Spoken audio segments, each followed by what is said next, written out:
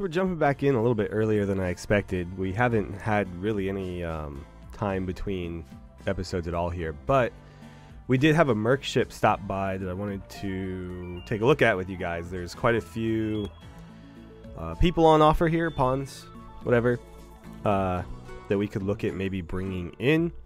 And while we don't have a lot of silver, we do have a couple of things that we could sell to them that would at least help kind of make sure we break even on this. Giordana, for example, quite valuable according to the game here, almost 1500 silver. Um, even though for us, really all she's doing is being a, a prisoner who mines. So, you know, we had initially planned to make her into a, tech priest, but she um, has had a lot of mental breaks to the point where we had to just kind of lock her up and mono focus her on one task, and that's not super valuable. So we could maybe swap her for uh, at least one of these pawns here. So I don't I want to spend time going through like every single one, but uh, I will give you guys some highlights. So Irina is a little bit interesting because she does have 12 plant skill. If you recall from the last couple of episodes, we've been trying to get somebody up to level 12 in plants so that we can start planting. Uh, is it Neutroleaf? Whatever the the plant version of Neutroamine is for industrial medicine. We need 12 planting skill to, to use that. So she would immediately come in and be able to contribute on that front. Um, the fact that she does have like some potential for construction is nice as well. Uh, same is true for artistic. Obviously, not super advanced in combat, but we have plenty of Marines to carry the workload there. I don't need my tech priests really contributing too much in that area. Uh, she is incapable of dumb labor, which is a little bit unfortunate, but we can keep her pretty busy with planting, so it's not a huge concern. Construction also, again, somewhere where she can contribute. And the fact that she is an undergrounder is kind of nice because she's probably never going to be leaving our base. And so she um, will not be particularly bothered by that, which is, I think, kind of the opposite of the issue that we had with Giordana. So she's a, a prime candidate. Amory is how I'm going to choose to pronounce that, is a little bit interesting as well. He's a trans, heat tolerant, heat tolerant transhumanist who is asexual. Um, he is almost 1800 years old. I'm not sure how he managed that. You're not like an Eldar, are you? Oh, he is. Okay, never mind. Uh, obviously, we can't bring an Eldar in. I did kind of find his skill set a little bit interesting because he has some shooting and some crafting and a little bit of plants. Um, also, of course, the transhumanist thing, making him into like a tech priest would be um, a lot easier. But uh, if he's an Eldar, never mind. So Daisuke here is pretty interesting. He is good at melee and construction. He's not good at shooting, but he does have a lot of passion for it, so it wouldn't take a lot of effort at all to get him to a reasonable skill level. Obviously, the cooking is not going to be valuable, but uh, you know, whatever. He's trigger happy, so aiming time is reduced. Of course, accuracy is is as well. But if we were to turn him into a space marine, um, a lot of his equipment will have accuracy bonuses to kind of help offset that. Additionally, uh, if we get his shooting skill up to like 20, then it's not really going to matter, at least not significantly. So he's somebody that I think could be uh, a good Marine candidate. He's also only 24 years old. I kind of like Alessia's skill set as well. She has a lot of passion for mining, plants, and social. She's not particularly good at anything except for intellectual, but she is young at 23. And again, with those passions, could become quite good at things that we do value. Uh, so, you know, for example, she could replace Giordana's mining and get up to her level pretty quickly, and also be able to contribute um, some planting as well, which Giordana can't. She's composed, so less likely to have mental breaks. Obviously, Undergrounder is a pretty valuable one on kind of the same in the same context because they're less likely to have mental breaks from staying in the base. This will also contribute, just not in exactly the same way. Um, eccentric is kind of a wash here because nobody's doing research. Um, and then neurotic is good and bad, so we do get that work speed bonus, but at the cost of a slightly more likely mental break.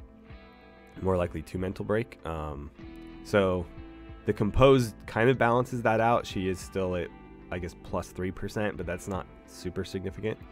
So, kind of an interesting one there. I think at the going rate for a lot of these pawns, she might be just kind of too pricey for what she can contribute. I mean, it, it's nice, but it's auxiliary stuff. It's not critical, so maybe not her, but keep her on the, the short list anyway. So those I think are the three that I like the best. We only have really one pawn that we can swap here. So at best, we're looking at about 2,000 silver, which means we could only afford one of them. I might... Let's uh, back out quickly. Is there anybody here that we're kind of meh about? I would say that Wildfire, maybe. I mean, he, he's obviously very good at combat, but he's older than I want for a Space Marine candidate and also older than I think I said I would take. So if I'm holding myself to the rules I set at the beginning of this, then he would not be a Marine candidate. Um, obviously still could contribute in other ways. He could still be a, a tech priest with that medical skill, obviously intellectual.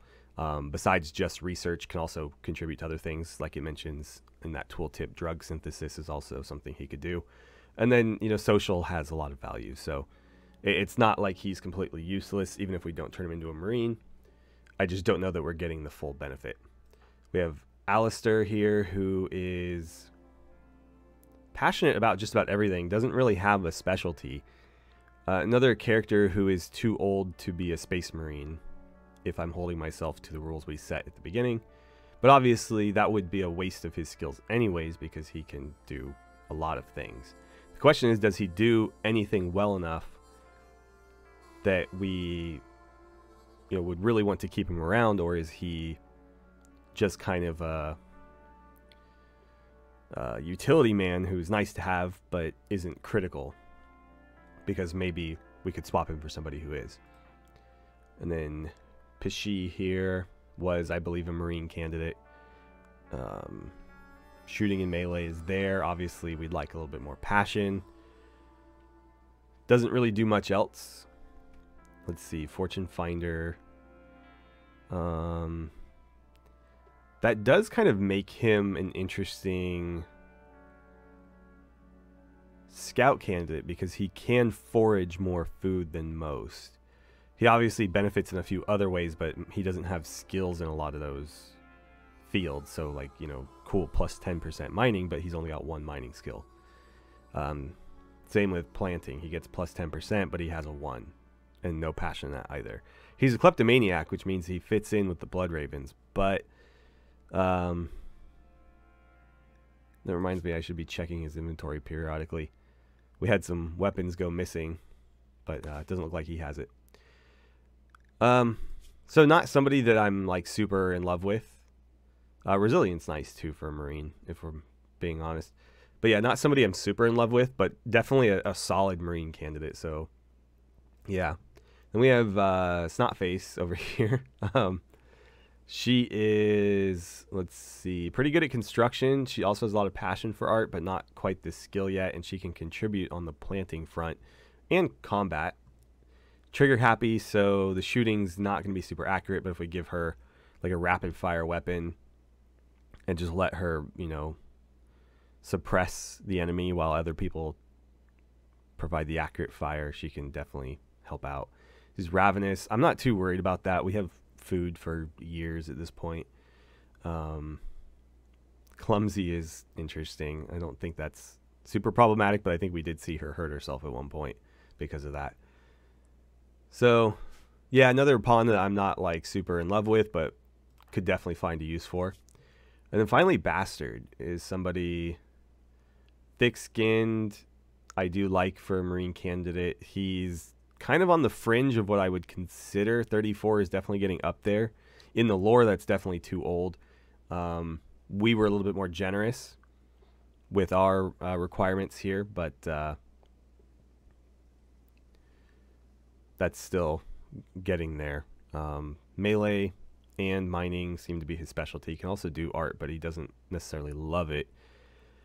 So I think he was kind of a tech priest candidate more than he was a marine candidate, just because you know he's not necessarily going to contribute any shooting whatsoever, and is really more useful for his mining than anything else. Okay, so both Wildfire and Snotface have been delivered to our little prison barracks here, which means they should show up on here now. So we'll have Thule call them back up. Again, I believe he has our best social skills, so we're going to let him do the talking. I might have somebody higher than 17, but that's fine. He's the captain. Okay. So these two are quite valuable. Snotface less so, but that should still be enough. So if we go for Irina, um, Daisuke, and who's the other one? And I think we still end up netting some silver out of that. So we're doing a three for three. Losing, uh, what, one prisoner and two colonists and gaining three colonists. Of course, we can turn any of those colonists into prisoners and make them servitors if we so choose. But I don't see any reason to necessarily do that right now. Um, let's check in on our uh, away party here. So they're moving. Time to destination is a lot better. It looks like all of them are capable of walking now. So they are still pretty injured. One of them is down an arm. Um, I think Valorum. Or no, Elijah? Uh, one of them lost an arm. But they're all on their feet, and so we're moving a lot quicker. Still uh, about four days, but it was, I think, almost nine previously. Actually, that does remind me. We check on in here. Uh, we have 1.8 days to go ahead and do this. So we'll basically wait right up until the deadline and then pull the trigger on that. I just need to make sure I don't forget. Uh, news of peace. Kamboa and the Eldar have ceased hostilities. I don't know how I feel about that. We might need to go um, teach them a lesson. All right, so all the priorities are um, set up for our new additions. Obviously, uh, this is fixed from the previous episode as well. Uh, luckily, whatever bug causes them to all turn into ones doesn't seem to carry over when I reload the game. Otherwise, I'd have to like manually fix it every time. But uh, yeah, fortunately, it, it seems to fix itself when I reload. Uh, so for Irina, we have her kind of with the default stuff up here. And then growing and plant cutting are really the only two jobs that we're going to ask her to do. Uh, she's not capable of, or not, I guess, willing. We don't have any hard incompatibilities with the mods that we're running here. So people can do anything. They're just not going to be happy about it. So we have other people to haul and clean. Not going to ask her to do it. She's just going to be mono focused on plants. And, uh, you know, if we need to later on, we can add her to maybe maintaining um, some of our vats that we're using for different things. She's not particularly good at it, but she can get better. She has passion for it. And then moving down to Olesia, right now, her main focus is going to be uh, crafting. She's not good at crafting, but she does have intellectual. So she can focus on things like drug synthesis, where the intellectual skill is more important than the crafting skill. But it's kind of in a weird place where I have to allow crafting for her to use that, even though she's bad at crafting other things. We should get her involved in planting and mining as well, so I'm going to add that on here. Let's see. Mining will add as a 3. And growing can also be a three. Yeah, we'll just make everything a three, and she can kind of pick and choose what she feels like working on. Lastly, Uh, where's Daisuke? Up here. So he's basically just going to help with construction and then train his combat skills the rest of the time, essentially. He's also potentially going to go on guard duty. And then I, I really need to set up this recon and guarding guarding one. We don't have a lot of that implemented right now, but that's something eventually I'd like to have. Where once the base is a little bit more built out, especially in this area, and we have more um, more Marines to work with. Uh, obviously, they don't do a lot when we're just chilling at the base. So what I'd like to do is have squads set up on patrols, things like that, just so they're not all standing around doing nothing. Of course, they're not all doing nothing, but a lot of them are doing nothing. I tried to uh, occasionally ask them to go uh, clean the base, so the base is quite clean right now, but um, I have to do that manually. It's not super time efficient. So I've asked um, Tarkus to come grab Emma, Emma's body anyway, uh, over here real quick, and just for um, so he can get in it. But yeah, there's nothing in that. They can repair it, whatever. But yeah, this thing doesn't have anything in it, which somebody pointed out on a previous episode that I should check it. Um, but yeah, there's nothing there. So Tarkus is gonna haul Emma's corpse and I'm using the little rooms here that we've kind of discovered through the enemy mining all the way into our base from them. I'm using these as like sonar outposts to see where minerals are very deep in this mountain. So we had to run a um, wire all the way out here. It was kind of tedious, but we got it done. And so now we can see that there are more cryptosleep caskets embedded in the mountain over there. So we'll want to investigate those eventually. It's interesting that um, I guess there isn't anybody else in that room. Otherwise, they probably would have tunneled into this one by now. There's some steel there. It looks like components here. More steel there. And more steel there. So um, very shortly, this one will be done. And it'll be time to move it uh, I don't know if there's value in placing it anywhere else in this space, just because, uh, frankly, the area is not going to shift too much. But we will eventually move over to this one and get a nice read on this area too.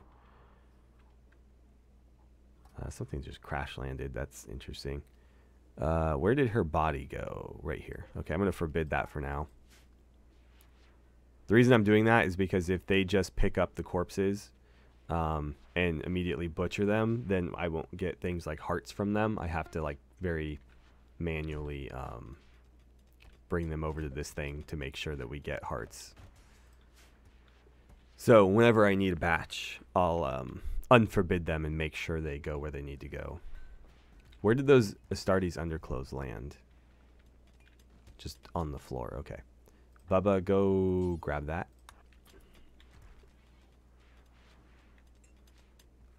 And you're up to what part now? Four? So I think Kono can go ahead and get four as well.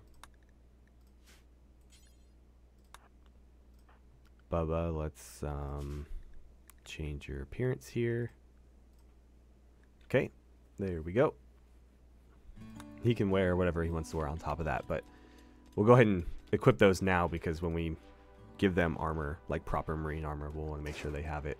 Uh, Orion, you're not the designated surgeon. I don't know how this came to be. Yeah, you're set to three. Let's change that to a four. See if that helps. In the meantime, I'll draft you to change your priority and make sure that Gordian is now the one working on it. I want Gordian to get to... Uh-oh. That's going to be difficult. Yeah, this psychic drone is making things real difficult. Must be the work of chaos. Um, and of course I can't click on him. Uh, do not fire, please. This is problematic. Um, I can't arrest him because there's some bug happening. So, what to do? Maybe we just vacate the premises. Thule. I'm gonna have you get out of there as well. No, no. God damn it, no. Uh, that's my own fault. I should have made sure they held fire.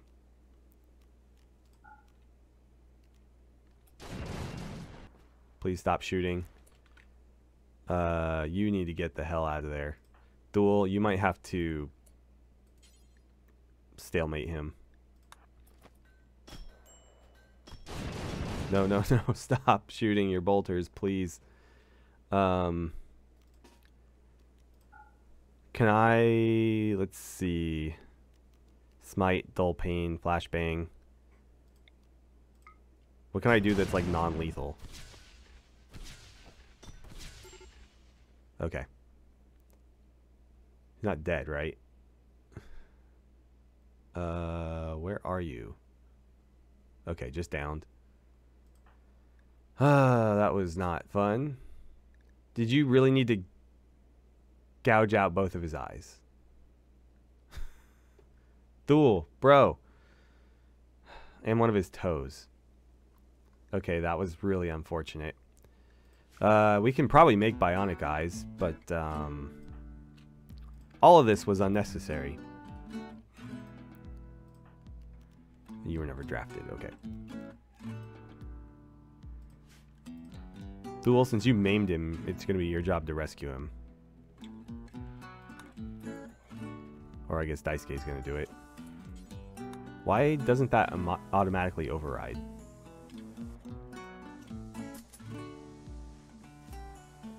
No, no, no. What, what the hell are you doing right now? Orion, I'm going to ask you to do it. He's trying to like triage him on the floor in the kitchen. Just get him to the goddamn hospital.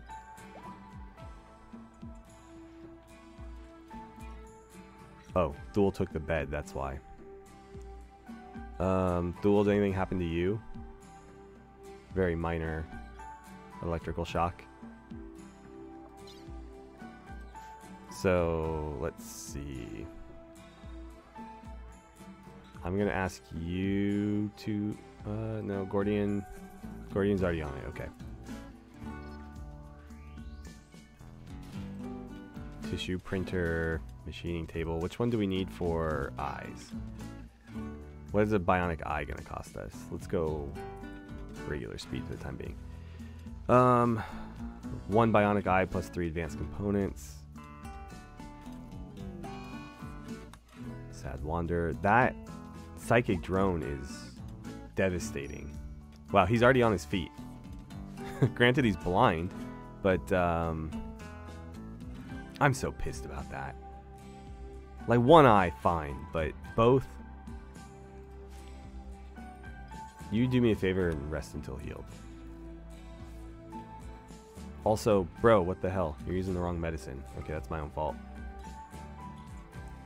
You guys got like bruises and you're wasting all our surgical medicine. What? No! Ah. The psychic drone is really getting ridiculous. Um, try calming him. If not, we'll arrest him. You're not probably the best person for that job, but since uh, the two best people for the job just beat each other damn near to death, I guess we're going to rely on Tarkus. I feel like a similar situation played out in Dawn of War 2, so maybe this will work. Just, he's not the Ancient right now, so it's not quite the same. Also, his helmet's already off. Um, this gonna work? Looks like Orion was able to calm down Heracus at least, but is this one gonna happen? Uh, apparently not. Okay, you gotta drag him to the prison then. okay, I forgot that doesn't work unless I manually do it. Alright, I'm bringing you back. He didn't drop his weapon, did he?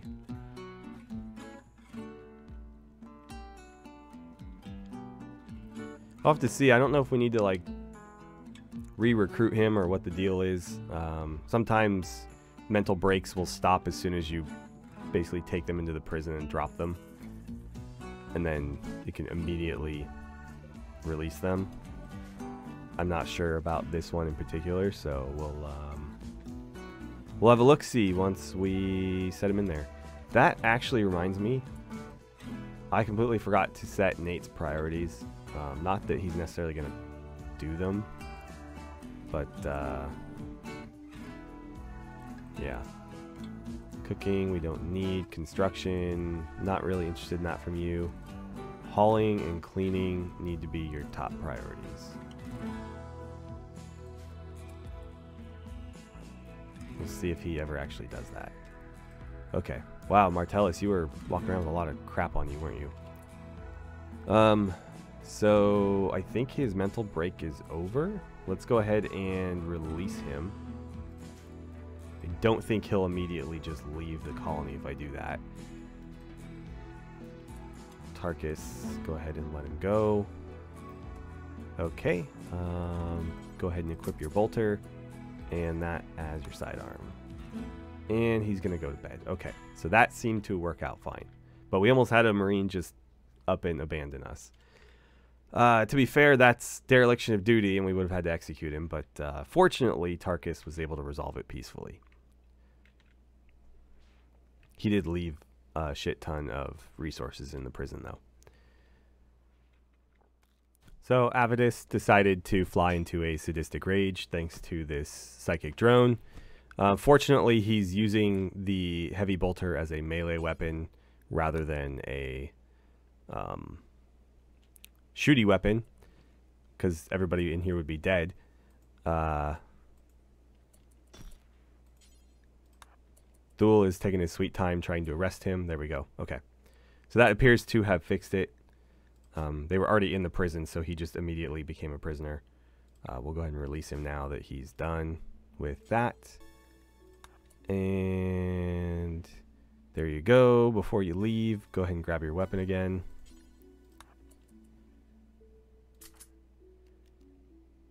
And okay, that ended a lot more peacefully than the last one.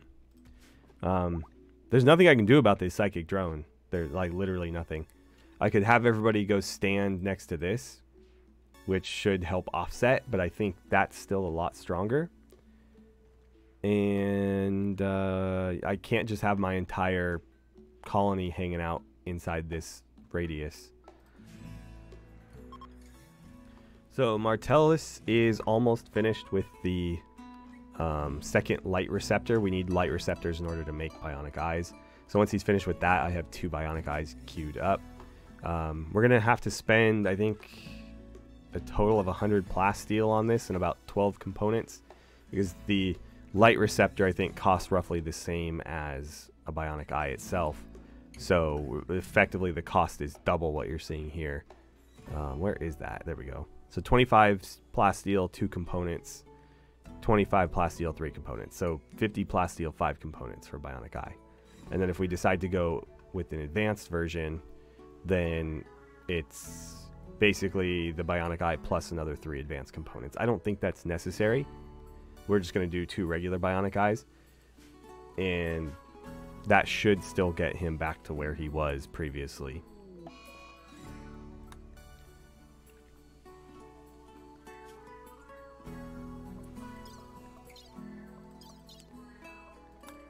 Oh shit, we missed the Scourge cluster.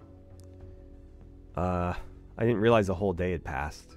Or a whole two days. I thought we had like 1.8 days. Um,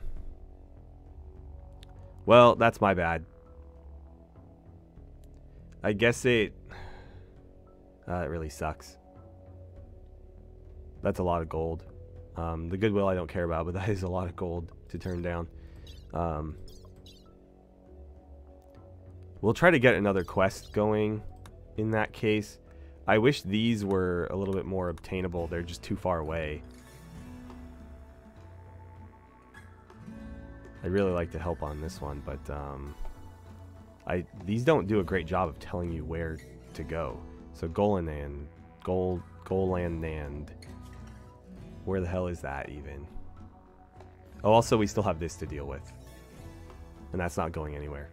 Um, this is not good. So this is the city under attack by the Tau um, for another day and a half. That's uh, quite the distance to go. And uh, we don't really have a way to get there or back. So I do have this guy. Um, it's not fueled up. We could fuel it up. I'm not sure if the 500 fuel is enough to get that far across the map. I also don't know how we would get back. So, I mean, even if we spend 500, I guess we could send them with another 500 fuel. That, of course, makes this thing a giant bomb if anybody shoots at it. Um, do we even have that much chem fuel? Three, uh, we got about 600, give or take. It's about 590 or something. So we have enough for the, to fill the tank once, basically, and then another half ish. But I, again, I don't know how far that gets us. And this thing, again, was scripted by me, so I don't know how well it works. um, it's supposed to work like two way. It's not like the other drop pods that fall apart upon impact. This should be able to fly us there and back. I just, again, don't know anything about the fuel or how well implemented it is. So we're probably just going to let that go. But once these guys have returned, we'll go ahead and attack this raid source. Um, and that'll give us something a little bit more um, action oriented to do.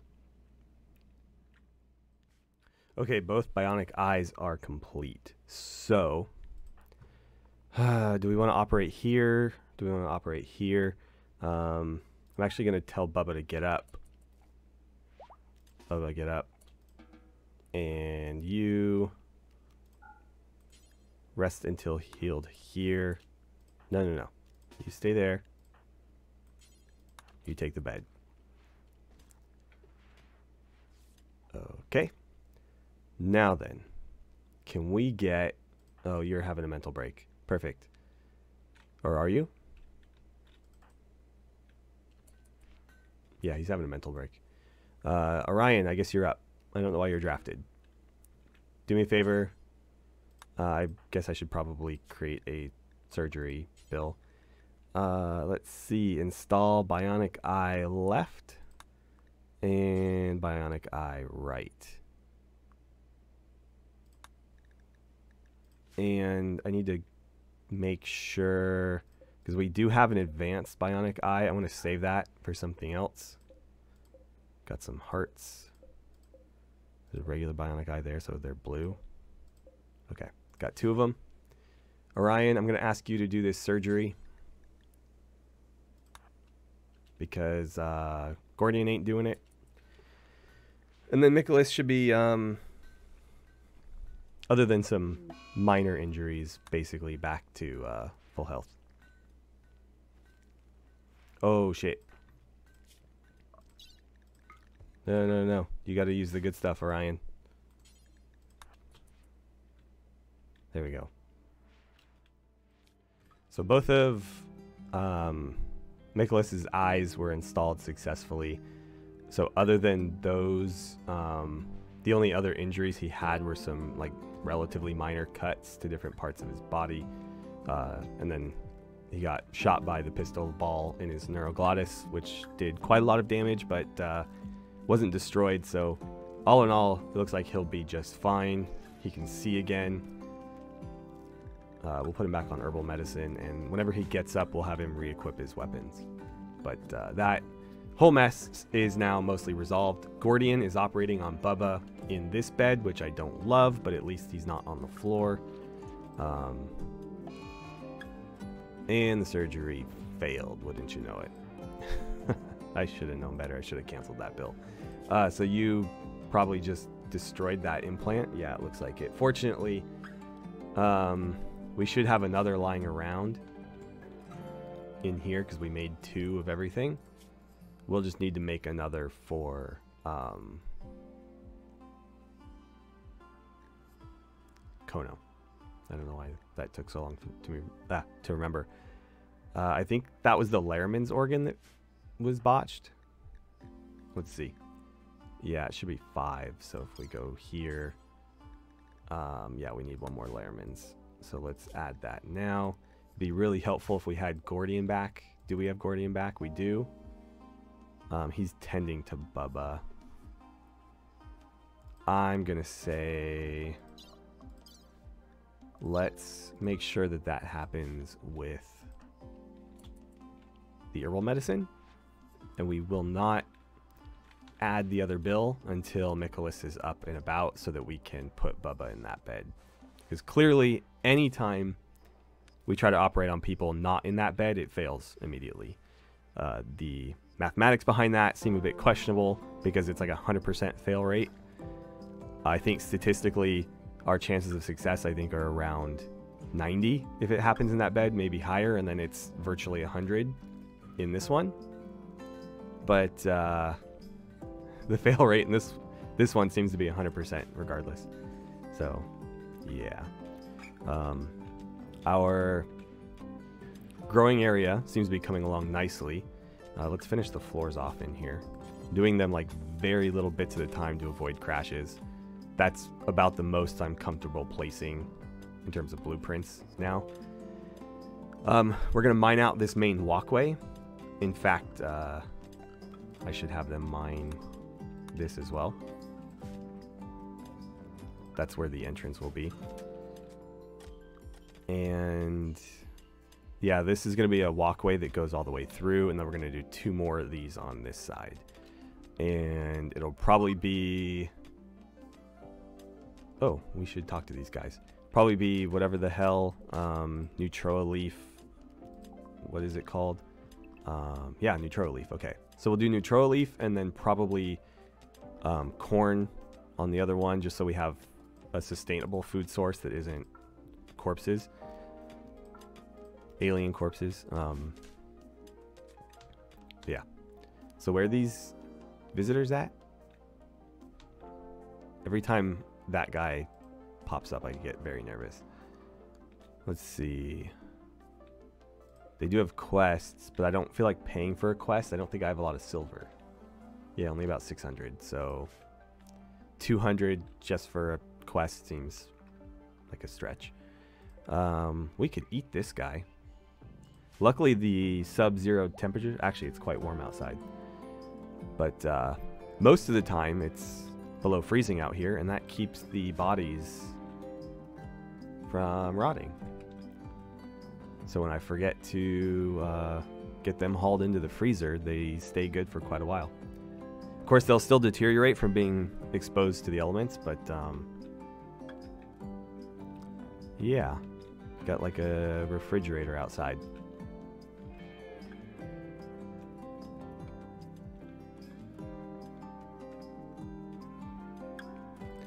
Our caravan is a little over a half day away, so I think what we'll do is we'll end the episode here. Um, I'm at about an hour and 20 minutes. I'll have to edit that down to quite a bit less. Oh, thank God the psychic drone is ending. Ending. I guess I should say thank the Emperor. Um, the voices of chaos are no longer eating away at our minds. Um, hopefully, we don't have anybody cut anybody else's eyes out anytime soon. Um, but yeah, we'll go ahead and call it here. And in the next episode, we'll pick back up with these guys having returned, and we'll send a party to deal with that Eldar outpost. Um, and then hopefully pick up another quest. It's been kind of quiet at the base. We haven't been raided in a while.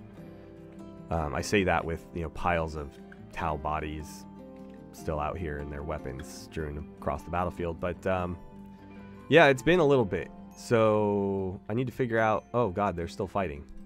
Why are they still fighting? I, I will never understand why they decide to pick fights with um, Space Marines. Ooh, that's not good. You almost killed him. wow. Um, Martellus moved his teeth professionally nipping Heracus in the brain. Uh, we are apparently a greater danger to ourselves than any other faction. Um, the Tau couldn't even hurt a single one of us significantly. Um, the Eldar did a decent job. They did take an arm off one of our scouts, but again, it's a scout, not a full Marine. And then um, we have two social fights because of. I guess this one wasn't because of the drone. The drone had ended, but maybe they were still um, not super pleased. I mean, like look look at the freaking mood threshold on that. And yet still we're having these fights where people are getting damn near killed because every single person in this colony is a killing machine. Um so yeah, we need to hustle on this. Um, I think we'll have plenty of time to get him into the base and operate properly, but maybe I should have had Gordian go out there and just stabilize him in the field. Uh, it's actually going to be closer than I would have liked. Um, where are you? We'll keep a close eye on this. Oh, I can't select him because he's being carried. It's okay. Don't think it'll take eight hours to bring him inside. Of course, I'll say that, and then it'll take seven, and we won't have time to actually operate. Gordian, do me a favor. Um, pick up some medicine. Get like five